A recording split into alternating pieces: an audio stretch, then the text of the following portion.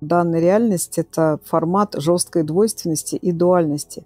То есть, когда присутствует деление на два. На самом деле, это иллюзия деления на два, но тем не менее, здесь, э, в данной реальности, это очень жестко ощущается и проживается. То есть, деление на то, что есть я и мир, я и реальность, я и люди, я и Бог и так далее. И именно в этой двойственности, как говорится, берут начало свой исток все страдания, все перипетии. То есть с одной стороны, так должно быть, потому что это есть некий формат, некий алгоритм самой спящести, самого информационного сна. Но назначение этого сна не случайно. Сон должен побудить человека к пробуждению. А как он побуждает? Посредством сдавливания, да, то, что я называю жернова матрицы. И замысел Бога не может быть понят, когда человек обусловлен менталом и обусловлен своим мышлением. Потому что фактически он в плену этого мышления, он, он в плену своей собственной ментальной парадигмы. И по факту он ничем не управляет, а именно парадигма управляет им. То есть такова функция персонажных программ. Я здесь хочу кое-что прояснить. Дело в том, что если человек просто будет э, слушать и воспринимать на слух, что вот надо куда-то двинуться, надо куда-то разотождествиться, то это ничего человеку не даст. Почему? Потому что он будет придумывать себе, как выглядит этот образ, куда-то двигаться, с чем-то разотождествляться. То есть фактически он будет находиться в ментальной активности, а не в сущностной. Правильно? То есть для того, чтобы обнаружить сущностное состояние, сущностную частоту, человек должен установить состояние наблюдения, наблюдения за собой, за собой тем, который думает, за собой тем, который делает выводы, за собой тем, который действует и говорит, молчит или там, неважно, поет песни. То есть один или не один. Человек должен находиться в состоянии наблюдения за своим мышлением, за своими персонажными программами, за собственной личностью. И самый главный аспект, он не должен находиться в том состоянии, когда так, а где я сейчас? Вот я сейчас на улице или я дома. Ага, а что я сейчас делаю? Ну, я там, допустим, грущу, или я думаю, или я планирую. И это человек внутри, да, он абсолютно поглощен персонажностью. Должен быть некий такой уровень и некая координата присутствия, когда человек одновременно и является этим персонажем, и одновременно в состоянии отслеживать что с этим персонажем происходит, как бы нейтральным взором оглядывать и охватывать все эти перипетии, да, связанные с персонажем. Тогда появляется фактор разотождествления.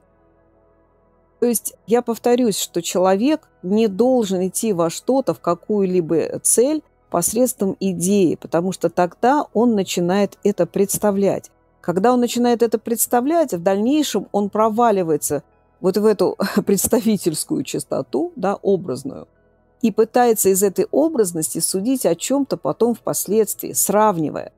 И это уже получается артельно-опрасный труд. То есть, допустим, я тебе или кто-то тебе расскажет, слушай, сходи, посмотри, это классный фильм или классная книга, почитай.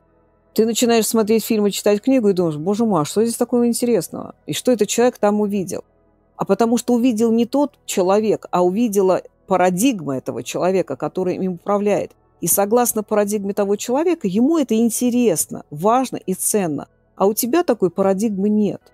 Да? И тебе это не важно и не интересно. Но это такой пример. Он достаточно матричный, потому что здесь присутствует множество. А ведь на самом деле мы начали с того, что замысел Бога каким образом познается? Когда человек выходит на координату изначальной своей природы. То есть что это значит? Когда, во-первых, он устанавливает наблюдение за мышлением, он устанавливает наблюдение за персонажем себя, тем самым запускается разотождествление, и тогда человек выходит из координаты множества, из координаты двойственности, дуальности, и начинает смещаться в координату присутствия одинности, потому что Бог, или по-другому Абсолют, он цел, един, неделим, он всегда один, он ни на что не делится. И человек либо обнаруживает собой эту частоту, ипостаси, координату, либо не обнаруживает. Третьего здесь не дано. Ну, давай посмотрим вот такой пример. Человек говорит, я писатель, да, или я режиссер. Естественно, вопрос будет какой? А что ты написал или что ты поставил? И человек говорит, ничего. Но такого не бывает, что человек писатель и ничего не написал, правильно? Потому что должно быть что-то, что подтверждает, что проявляет, формирует нечто, что будет отражать его писательский уровень, да, вот эту частоту писателя. Правильно? А смотреть всегда надо за персонажем, а не из персонажа. Потому что, еще раз говорю, Д'Артаньян ничего не может знать о Дюма. А вот Дюма знает и о себе, и о Д'Артаньяне. И на эту частоту нужно выйти. То есть Дюма таким образом познает разные грани самого себя, создавая вот эту игру, этот сценарий и этих персонажей. Главное действующее лицо в виде этого Д'Артаньяна. Правильно? Так если вернуться к замыслу э, Божьему, да, или к замыслу Абсолюта, то, естественно, сознание бытия, что и есть Абсолют, это сознание хочет осознать самое себя. Находясь в статичном состоянии, это невозможно сделать. Должно произойти некое, некий формат разделения, иллюзорное разделение. На самом деле никто ни на что не делится, но лицом к лицу лица не увидать. Соответственно, должна произойти разница потенциалов, при котором возможно – обнаружить, да, как бы, а кто я и что я. И потому для абсолюта данная реальность – это как для человека ночной сон, да, то есть происходит какая-то игра образов, какое-то взаимодействие с этими образами. Да, что-то понятно, что-то непонятно, но тем не менее сам сон преследует цель не просто пробудиться, а осознаться. Осознаться не в плане, что я Петя, Катя, да, там Миша, Оля, а именно осознаться через призму одного, через призму абсолюта, через призму божественности себя. Но только это не должно происходить через ум, через мышление, через представление или воображение. И это происходит сущностно, на энергетическом уровне, на ощущениях тела, когда ты точно знаешь, что это так, а не просто, что ты подумал или логически до этого дошел. Ты знаешь, я сейчас добавлю, вот мне почему-то вспомнился фильм «День сурка». Он, может быть, не совсем четко применим, но я хочу вот некие аспекты оттуда вытащить. Ведь смотри, с каждым разом, когда он погружался, проживал один и тот же день, да, он отшлифовывал свои какие-то возможности, какие-то способности, да, он там ювелирно уже играл на фортепиано и там какие-то еще другие вещи. То есть он оттачивал, хотя по факту это был один и тот же как бы персонаж, а один и тот же сон – но, скажем так, уровень осознанности, да, качественная характеристика менялась. Я бы сказала, что эта божественность себя оттачивает что-то через образ, понимаешь, через вот этого персонажа. Потому что главное действующее лицо, но ну, если можно так сказать, это истинная своя природа, то есть природа абсолюта. Но внешне в данной реальности это проявляется человеком. И всегда нужно это применять, исходя из позиции одного.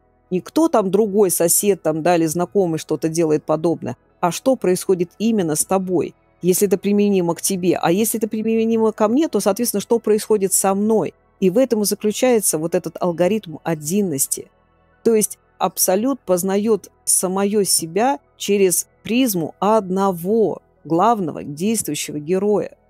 Здесь нет такого, что кто-то должен встретиться тебе, и этот кто-то возьмет тебя за руку и приведет. Нет, это все ты сам своим намерением создаешь то выражение, ту проявленную реальность, которая будет выглядеть таким образом, что это приведет тебя куда-то. Но это все равно все зависит только от самого тебя. Если тебя нет, то нет ничего, что могло бы по отношению к тебе происходить. Я еще хочу сказать, что человек находится в такой координате, находится в такой ипостаси, еще раз говорю, это как прототип ночного сна у человека. И взаимодействие с этими гранями, с этими образами, персонаж постепенно начинает формировать такое излучение, то есть сам человек начинает чувствовать, что в этом излучении есть нечто помимо самого персонажа, есть нечто помимо самой личности – что есть некто, кто за всем этим смотрит, есть некто, кто может выбирать, продолжать эту игру или не выбирать, потакать или не потакать этому. И еще один нюанс. В данной реальности, ведь не случайно я это сравниваю с персонажем, да, со сценарием, с пьесой, всегда будет все крутиться вокруг взаимодействия с другими людьми. И к самым главным аспектам есть идея о любви – я хочу особо подчеркнуть, что идея любви и любовь – это диаметрально противоположные вещи. Потому что пока человек обусловлен всем этим своим невезением, этим ментальным погружением, своей персонажностью, он играет по правилам ментала. И он ищет то счастье, он ищет ту любовь, те, те отношения, которые он почерпнул как стартовую отметку в самом ментале. И пока он не дойдет до критической отметки разочарования, когда он уже устанет страдать, когда он устанет бегать и искать это счастье и взмолится, как говорится, внутрь себя, что же такое, чего же я не вижу, он не сможет обнаружить этот путь. Вернее, я бы сказала так, он не сможет стать самим этим путем. Путем тот, который ведет именно в дом себя изначально бытийного, всегда целого и всегда одного.